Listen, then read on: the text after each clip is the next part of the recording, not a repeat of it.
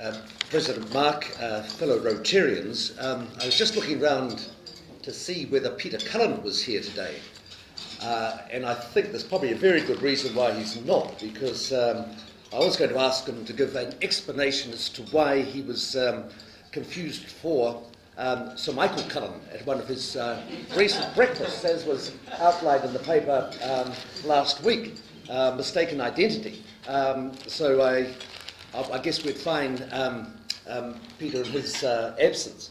But firstly, I was going to say I think we should all uh, put something into, uh, into, into, into our contribution box for the fact that um, the latest uh, survey from um, Deutsche Bank in terms of ranking Wellington as the number one international capital in the world, which I think was wonderful news. And I think there's a whole lot of people in Rotary, and particularly Kerry, who's done hard work over the years too, and ensuring we've achieved that status. So I think you should all pay up for that, um, for that uh, acknowledgement, which was um, uh, an amazing achievement. Um, it goes without saying this week that uh, one of the, the big news stories was um, the headline The Duke standing down. I can't, can't stand up for much longer. Um, when you think about uh, uh, his a number of years of um, service as uh, Duke of Edinburgh, and that's my first question. For how long has Prince Philip um, performed his roles as the Duke of Edinburgh? Um, 70 years, absolutely. Uh, anyone who had any other thought, please uh, pay up. And uh, second point, how many organisations was the Duke of Edinburgh a patron, president, or a member of? Um, More than seven. 780. Once again, you've read, read, read, read the paper. Um, anyone who didn't think it was 780, please pay up. And obviously, he's, um, it's gone without saying that he's um, um, that amazing uh, record, and I was quite intrigued to read a bit of his, his byline, byline. How many round the world voyages did he make on the Royal Yacht uh, Britannia? One, two, or three? Two. Absolutely right. Anyone other than two, please pay up. And the island in the Pacific where he is regarded as a, or worshipped as a god? Tanna. Tanna. Absolutely right.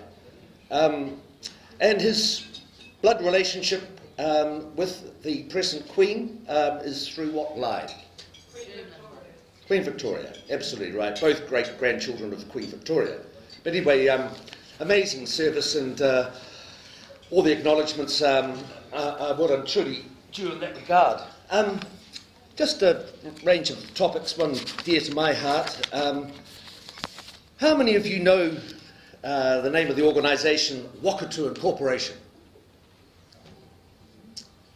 Those that don't should pay up. Um, the wonderful brand of wine um, owned by Wakatu Incorporation. Tohu. Tohu, absolutely right, Robert. Uh, and for those who don't know that, whereabouts are they based? Nelson. Nelson, yeah, largest building in Nelson. Um, they, uh, they export sea cucumber um, and also have developed their own uh, variety of oyster, which they say rivals um, the bluff oyster. But um, for those who are not aware, there's been a, a landmark decision um, in the Supreme Court that was uh, issued um, a couple of months ago. Um, proprietors of Wakatu versus the Attorney General. Does anyone know what that decision was about? It's the 10th land reservation uh, that was imposed upon the New Zealand company. Um, and all I can say is, um, you know, God bless the, uh, the Chief Justice, uh, Dame Sian Elias. I commend that decision to you if you want to read a fascinating history about New Zealand, the New Zealand Land Company and the acquisitions of land from Maori. But um, in that particular case, um, it was basically when the land company was, New Zealand Land Company was authorised to sell land. Uh, it was originally vested in the, um, in the Crown, and one tenth was to be reserved for um, local Maori. And in the case of Nelson, there was 151,000 acres which the New Zealand company was entitled to deal with, uh, which meant there was uh, 15,100 acres to be reserved for local Maori and Nelson. And of that uh, amount, 10,000 acres was, um, was never received. Now, this was back in 1841, and this decision by the Supreme Court, and it has um, some quite wide-ranging uh, implications for the other Maori organisation who's named after the uh, 10th land reservation. Does anyone have any clues as to who that is? Wellington Tenths Trust, absolutely, who'll be following this decision with interest because the Supreme Court said that notwithstanding that these land acquisitions took place back in 1845, um, the Crown had breached its fiduciary duty to protect the local Maori in the Nelson area in respect of the 15,100 uh, acres that was reserved for them. So, as I said, for those who have an interest in uh, New Zealand history, I do commend the Chief Justice's very learned decision, which does run for a number of pages, and it's a, a large decision, but it has huge implications. Is there a one-page summary? Uh, Robert, there's a, there's a five-page press release, which uh, I, I, I, can send to you if you give me your email afterwards. Just moving along, the topic uh, dear to one's heart, the uh, NZRU held its uh, annual general meeting last uh, month, and um, just wondered if anyone could tell me who, were, who was elected as uh, president and who was elected as vice president of the NZRU at their AGM. Any starters? President? You. No. no, no, no, no. tried. Uh, Maurice Trapp and the vice president who uh, was contesting an election against Blair Furlong and was successful. Anyone starters? Bill Osborne. Now, the number of registered rugby players um, in New Zealand, um, anyone got a guess for that? Um, 120,000, 156,000, or 180,000? Those who said 156,000, absolutely right. The um, captain of the Black Ferns, highly successful team, what played rugby, wonderful rugby and trailblazers for New Zealand. Anyone know who that is? Absolutely right, Reese. Yeah, yeah, yeah. And the result of the for the financial year ending 31 December. Does anyone have any uh, ideas about uh, what that was?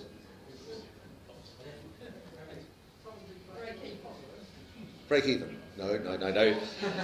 they made a loss of $7,473,000, which was um, very interesting because a lot of contributions to provincial unions. But I hasten to add for reassurance, um, uh, $91 million in reserves, and obviously they're hoping for a bumper year this year if anyone's tried to buy tickets for the Lions and been put off by the price.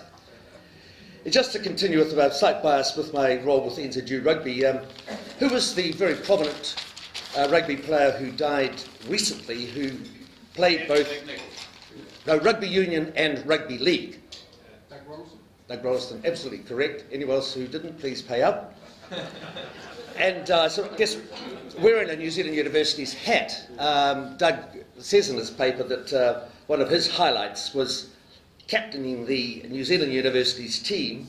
Um, in what match would that have been, and does anyone know the result? 1977 versus the British Isles. Yeah, and the score is? 21 6 or 21 9. 21 9, 100%. Yeah. everyone else, please pay up. And, uh, and I'm asked by uh, Sam Whitelock as to why we're not p- playing the British Lions this year, and I've, I've told him to ask Stephen Tew because it's, um, it is a pity that's the last major match that NZU played back in 1977, but we're an important nursery for the top two inches with uh, uh, Kieran Read and Sam Whitelock and Conrad Smith all playing for our team. Actually, just a matter of interest, you could probably answer that. Who was the player that was selected in that 1977 team who made a huge difference uh, and had turned down the All Blacks twice uh, and was talked out of retirement to play for NZU in that match?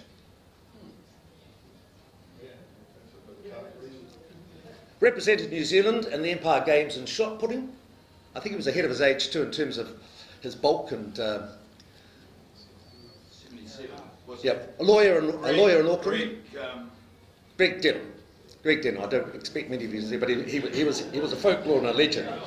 But I think that's my five minutes, and thank you. For those who haven't paid up, please pay up and uh, appreciate it.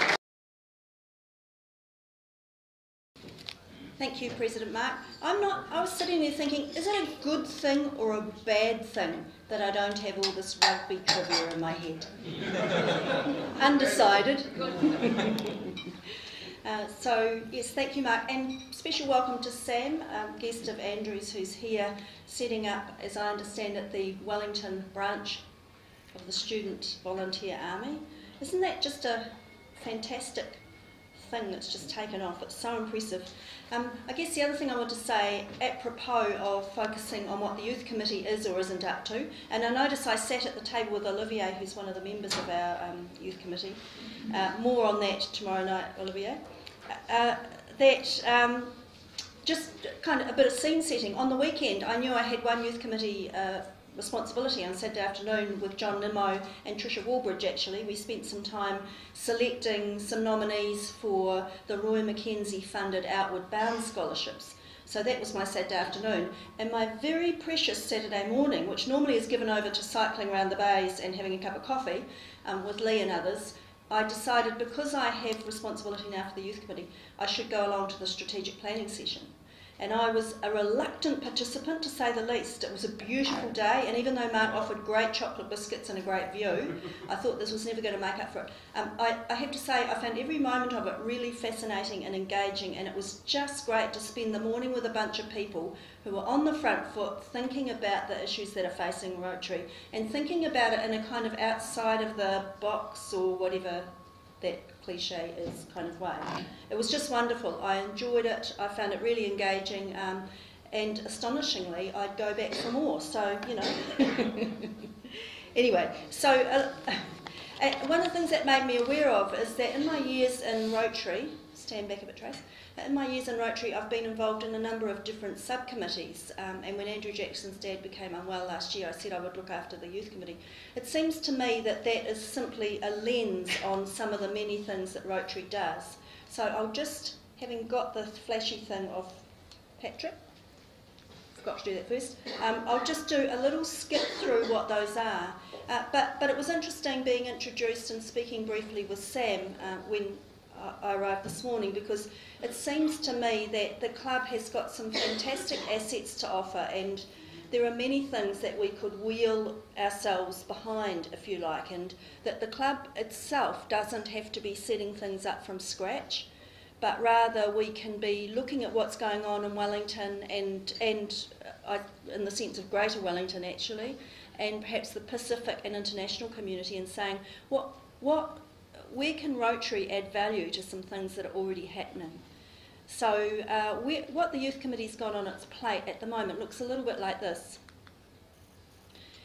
So there's a whole, uh, and uh, the Student Volunteer Army is just one, there's a number of different initiatives uh, obviously going on in Wellington and the wider community already that we can look at ourselves as a Rotary Club and say, how can we get in behind these people? What can we offer? And my experience in Rotary is that Rotarians are incredibly good at using their networks.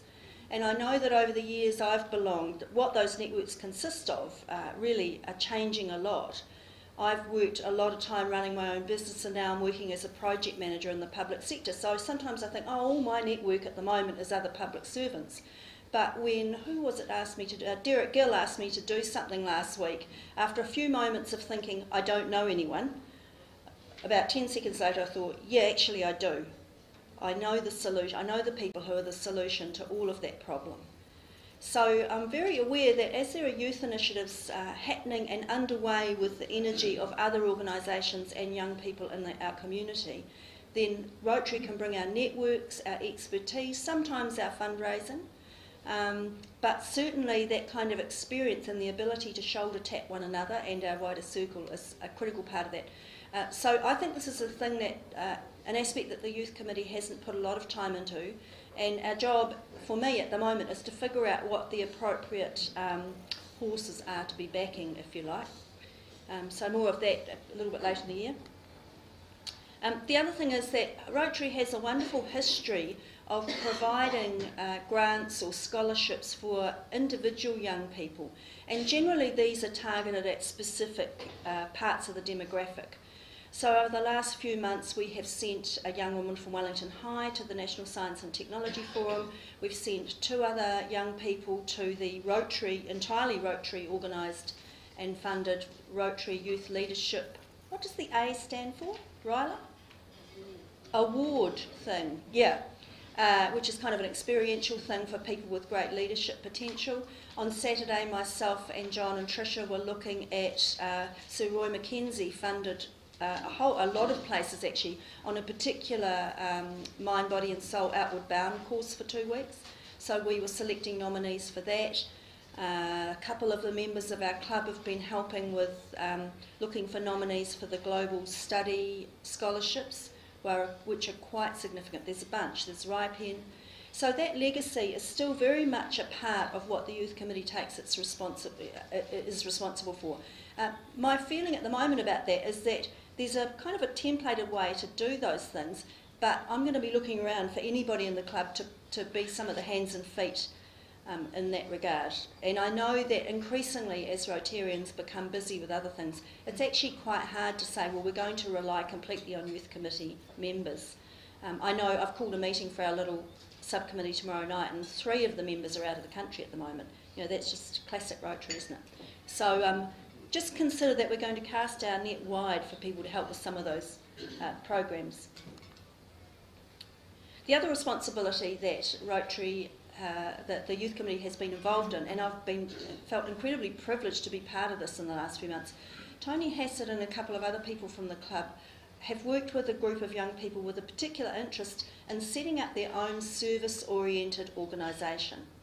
And they've, as you probably know, they've called themselves Scope. We have an association with them. They're not formal members of this club, uh, but they are a group of about 12 or 13 young professionals in the kind of early but extremely uh, high-paced, I would say, parts of their career and they have a, a, specific interest in getting involved in programs to do with um, care for the environment and educational issues for younger people. So Scope is very much supported by our youth committee. I go along to their meetings when I can. Interestingly, when we met with them a couple of weeks ago, they were running their strategic planning discussion. It was one of the best facilitated sessions I've ever been at, and, I, and someone said at, the, at our strategic planning um, club strategic planning on the weekend that, that we can offer mentorship. While that's true, I just sat there thinking, I wish I could take notes because the young woman who was running this was superb. Um, and they just put, they're astonishing. They put their hands up and someone says, yeah, now I'll look after the website. I'm going to live in the UK, but I'll be able to do that for you online, you know? It's just phenomenal, very impressive. Um, so Scope will continue to be a really, I think, a great association for this club. Uh, clearly, they're a different demographic um, to some of our own members, but I think the crossover of interests and the crossover of uh, rather different things that we can offer will be great. And I can already see a few things on the horizon where we can harness their energy and our own um, to do something a little bit differently.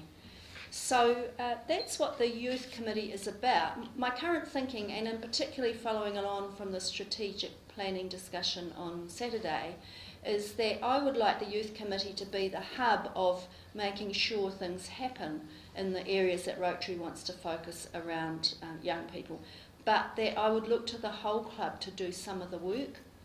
Uh, and some of that's small, and we can chunk it, you know, big or small, whichever way we want to go. So that's the Youth Committee. Any other questions, come and see me. And if you're really keen and need a home, come to our meeting tomorrow night. You'd be very welcome. Thank you. So just a quick one from me today, guys. Um, firstly, uh, update on where we're at with our nursery construction. So earlier in the year, we got uh, partner Bunnings on board, who were happy to donate all of the um, tools and equipment we needed for our nursery.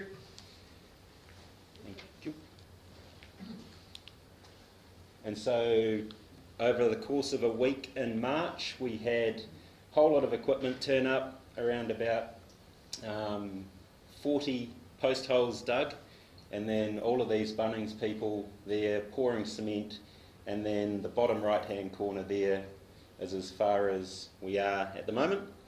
Um, in the next couple of weeks, we've got some contractors coming in to finish the building and then do some irrigation, and then from there, we're set to start growing our own native seedlings. So, from this year on, we're going to be producing around about 5,000 native trees a year in this nursery to go on the Mount Vic project for Rotary Club of Wellington. And on top of that, another 5,000 trees a year, which are being donated by the Wellington City Council and Forest and Bird. Um, the next thing to talk about is this year's planting opportunities. So we've set the three Saturday planting days for the Rotary Club to take part in for 10th of June, 1st of July, and 5th of August. So if anyone who's interested in coming along wants to put those in their diary, and you'll get more of that in your newsletter, I believe. Um, and then alongside those days, we'll also be doing a number of weekday planting days with schools, corporate groups, and local community groups from Mount Vic. And then the final thing is our corporate tree planting challenge on Friday, 9th of June. So this is in celebration of World Environment Day. As part of this, we invite corporate teams to send groups of up to 10 people along. Uh, we'll separate the planting site on um, alongside Government House into different areas, and people will have two, two hours to plant as many trees as they can. And then the winning team gets the trophy engraved with their name, take it back to their office, and hang on the wall for a year. Um, and then the day will finish with a barbecue lunch. Participation's free for corporates. So at the moment we've got a few teams signed up, but we're looking for more. So if any of you have any um, workplaces or contacts who might like to sign up a team of up to 10 people, uh, I've got some flyers over here which you guys can take away and then just get in contact with me. And. Brilliant.